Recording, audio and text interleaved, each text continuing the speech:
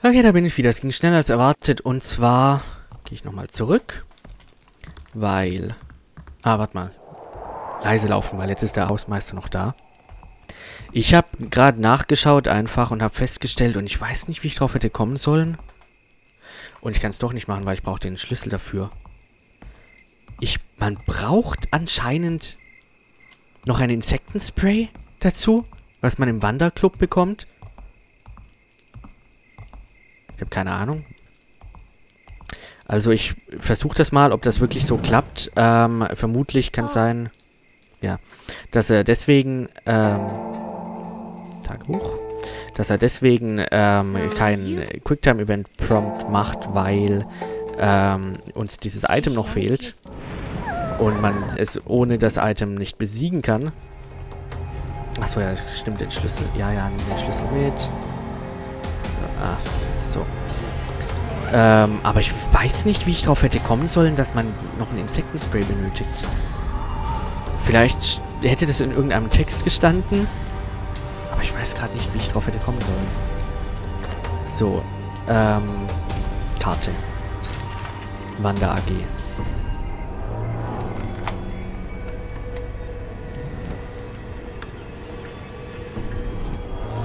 Kaufanfrage, Adressat Hauptbüro, Wander AG, Gegenstand, Insektenschutzmittel, Begründung zur Vermeidung von Schäden durch Insekten bei der Teilnahme an Freiluftaktivitäten, aufgrund des leicht entflammbaren Inhalts nicht in der Nähe von Feuer verwenden.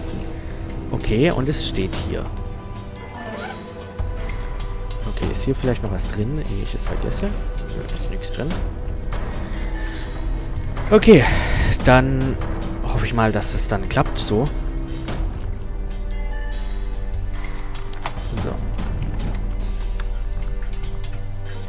Hier steht jetzt 86, 83. Hey, es ist der gleiche Code wie beim ersten Mal. Das heißt, ich brauche immer, möchte immer noch die Kappe haben. So. Gut, jetzt. Ähm, 5924. Komische Sache. 5924.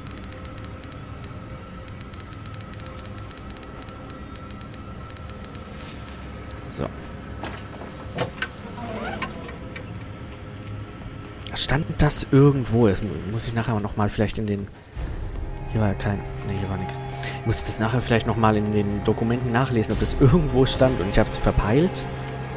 Ich meine, vielleicht stand es auch irgendwo und ich, ähm... Also, hätte ich das irgendwo finden können in einem Dokument, das ich nicht gefunden habe bis jetzt? Wenn, dann wäre das allerdings ein bisschen fies. Weil das kann ich ja nicht wissen. So, aber dann müsste es jetzt hoffentlich funktionieren.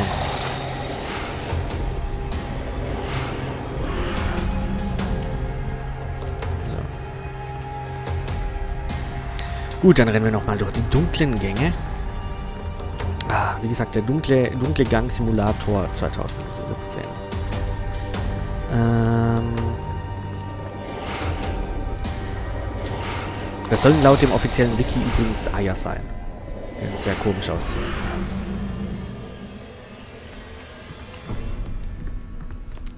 Äh, ja, gut. Aber gut, ich meine, es ist auch ein komischer Baum, von daher passt das eigentlich ins Thema rein. Ähm.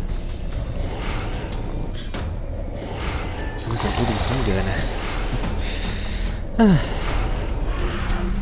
Aber mit etwas Glück ist es dann jetzt auch geschafft.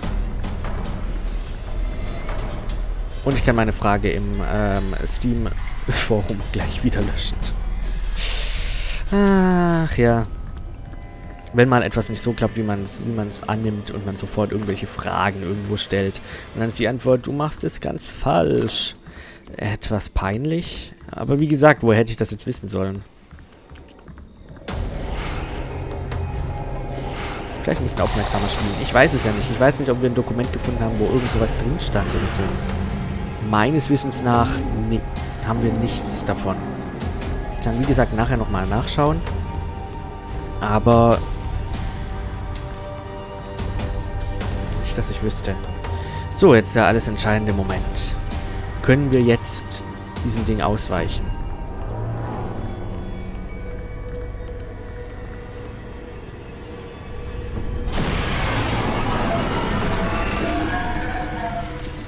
Die Spannung steigt, die Spannung steigt. Hände an die Tastatur.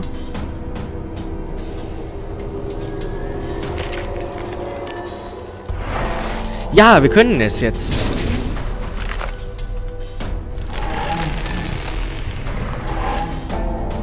Es war tatsächlich das Insektenspray. Das jetzt brennt. Meine, es ist effektiv gegen Insekten. Feuer. Mache ich auch immer so, wenn ich eine Spinne in meinem Zimmer sehe, immer gleich Kill it with fire. Schweben wir? Nee, wir drehen uns nur ganz lustig. Jedenfalls, das wäre geschafft. Ich schaue jetzt echt nochmal kurz nach in den Dokumenten. Ähm, Notiz aus dem... Das ist nicht... Nee. Ich meine, gut, wenn man nämlich diesen, diesen, diese Notiz nicht gefunden hätte, wüsste man auch nicht, wo das Lösungsmittel wäre. Das war ja auch nur Zufall, dass ich darauf kam. Das haben wir jetzt ja erst gerade gefunden. Das heißt halt... Nee. Das heißt, es kann sein, dass irgendwo halt irgendwo ein Dokument rumlag, auf dem drauf steht irgendwas mit Insektenschutzmitteln. Äh, Insektenschutzmitteln, Insek doch, ja, Insektenschutzmitteln. Äh, Insektiziden. Und allein dadurch, und dadurch hätte man das wissen können und ich habe das Ding nicht gefunden. Hier ist ein Dokument. Notizen aus dem Biologieunterricht. Spinnen, ja, wie gesagt, äh, Kill it with fire. Anthropoden, Gliederfüßler der Klasse Arachnida. Sind also keine Käfer. Achtbeinig. Brrr. Sechs bis acht Augen. Der Körper besteht aus Kopf, Brust und Magen. Was ist der Unterschied? Meine, klar, ich habe auch nur meinen Magen im Kopf, von daher.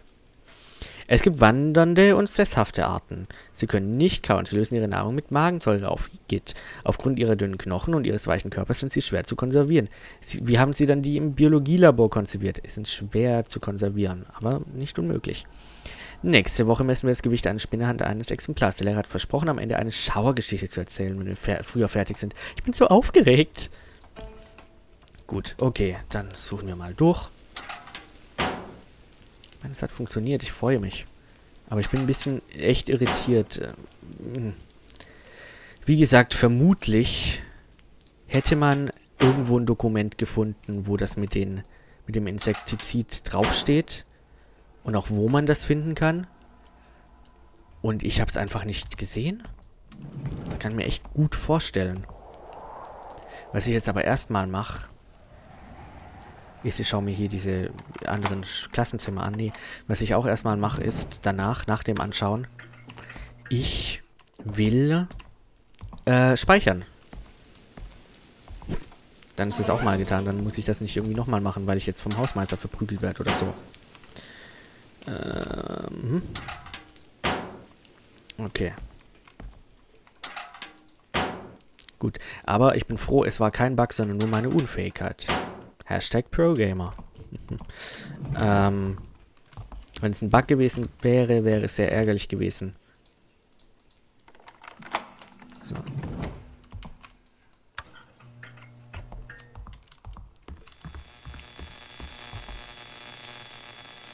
Komische Radiogeräusche.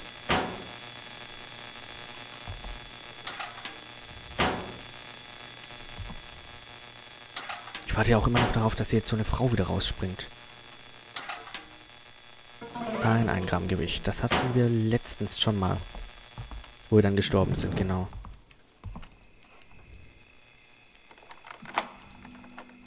Kommt das von hier, das Geräusch? Nee. Doch. Ah. Teil des Kursplans, Mathematik. Okay.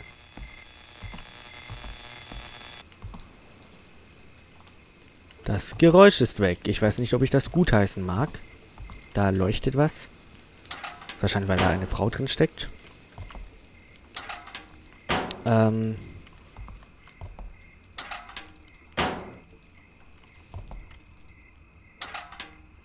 Zeugnis. Zweitbester. Zeugnis mit guter Benotung. Es scheint, als habe er oder sie durch die Falschbeantwortung weniger Fragen den zweiten Platz erreicht. Okay. 931 von 1000 Punkten. Gut. Streber. Ähm...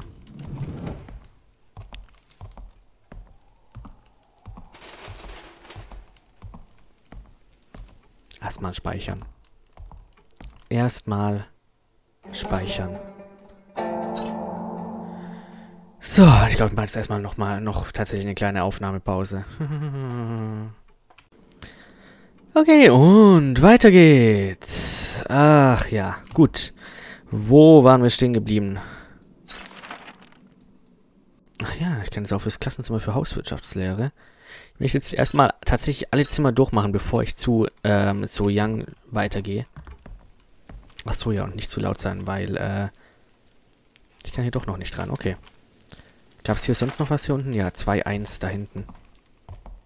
Ich darf nicht so laut sein, weil Hausmeister natürlich. Hm. Ähm. Naja.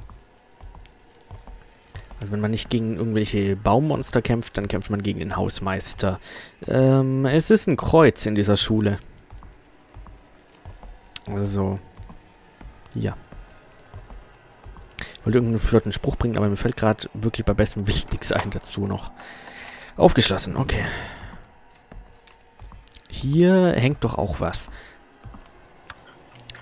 Nochmal, Kursplan Mathematik. Warum gibt es davon mehrere? Was kann ich mit denen tun? Hm. Hier ist etwas drin. Ah, ein Filzstift. Gut. Ähm. Vielleicht sind tatsächlich nur in denen, wo es leuchtet, Sachen drin. Ich möchte trotzdem mal die anderen aufmachen, nur um nichts zu verpassen. Auch wenn ich dadurch natürlich das Risiko einer, einer eines Jumpscares eingehe. Das ist ein Risiko, das muss man halt eingehen. So, no risk, no fun. Das ist mein Motto. Außer beim Beischlaf.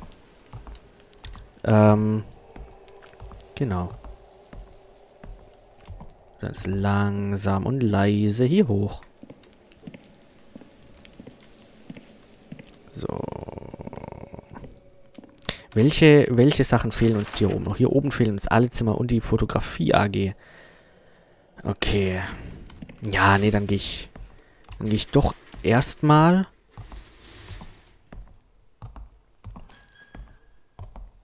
Erstmal, ich gehe die Zimmer nach, also Stück für Stück ab. Das heißt, ich werde wahrscheinlich, äh, ja. Auch ein schönes Bild. Hä? Äh, hier ist das Schloss, okay. So, aufgeschlossen.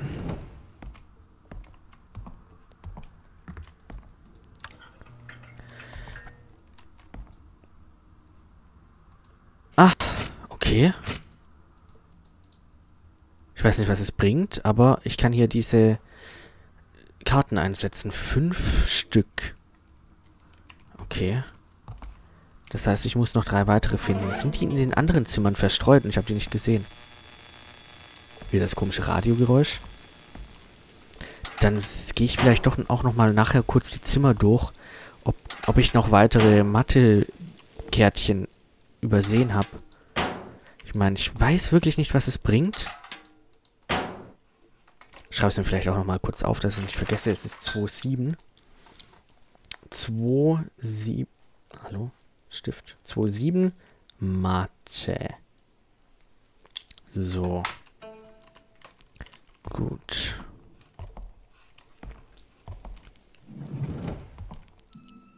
Hier ist nichts. So lang kann ich auch nicht entdecken. Hm. Auch kein Matteschild. Aber eine Holzmarke. Okay. Das ist gut, weil wir wissen ja, dass in dieser Schule als Schlüssel benutzt werden. Wie in jeder ordentlichen koreanischen Schule. So. Hier ist ein Dokument drin. Eine Geistergeschäfte. Geschäfte. Bin schon ziemlich fertig. Sieht man mir, glaube ich, auch an. So. Äh, 17. Die Stimme, die mich ruft. A und B waren Klassenkameradinnen und Freundinnen.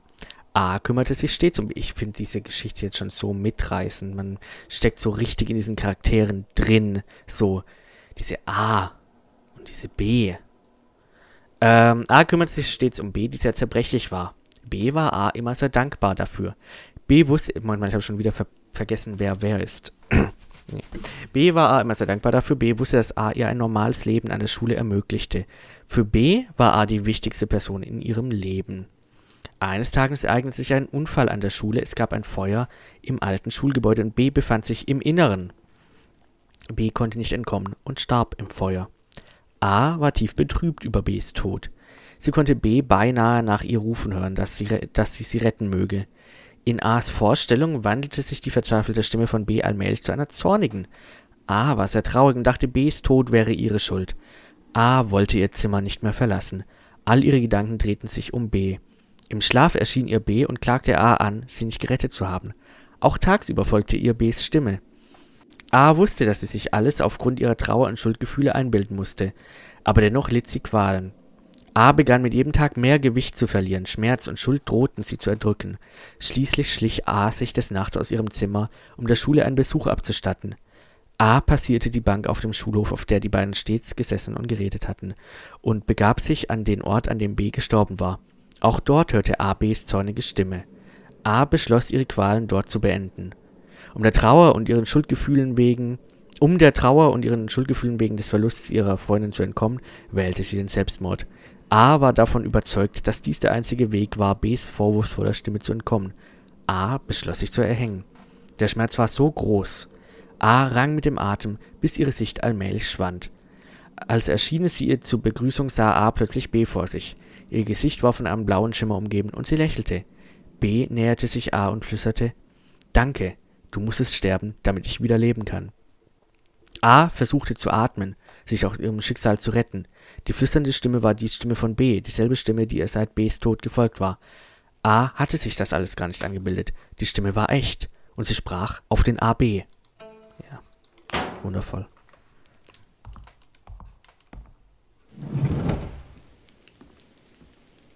Hey, why are you still here? Anyway, what was that noise I heard? Es war ein ganz großes Baummonster. ein riesiges Baummonster hat So Young entführt. Tree? Are you insane?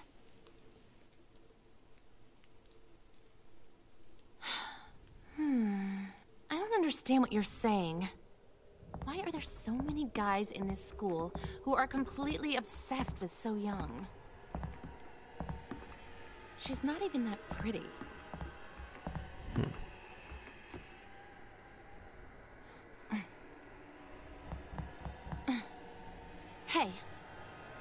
Honest. Are you here this late because you're into So Young as well? Is it? Because tomorrow is White Day. Äh, also, ähm, das geht dich nichts an. Außerdem fällt mir gerade auf, dass die, dass ich den Ton wieder hätte lauter stellen müssen. Äh, ups. Ähm, es geht sie eigentlich nichts an, aber es, äh, ähm. So I'm right. Look, wake up, stupid. You think you're the only one so young bewitched with that face of hers? You don't know this, but she's a manipulative witch. Du bist ziemlich unhöflich. Nee, oder ehrlich? Ist sie wirklich so? Yes, she is. And that's not all. There are a ton of totally strange rumors about her. Rumor has it, So Young... Did you hear something just now?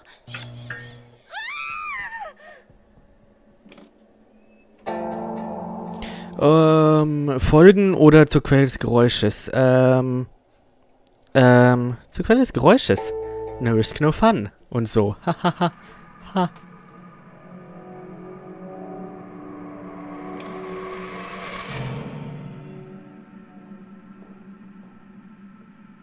Ähm, hallo? What are you doing in here? Tell me, what happened earlier?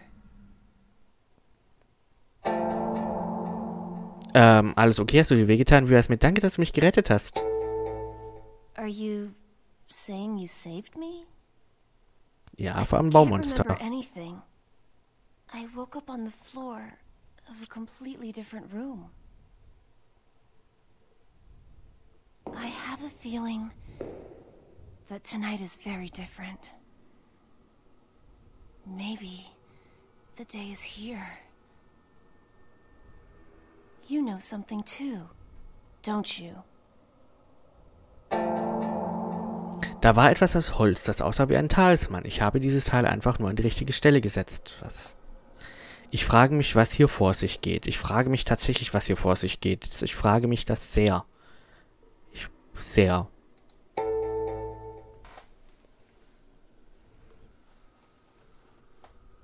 You really don't know anything at all? Nein, ich weiß nichts über Baumonster. All right, that's fine. This school has so many hidden secrets. I'm gonna go now. If you want to leave the school, go to main building too. Warte, nimm mich mit.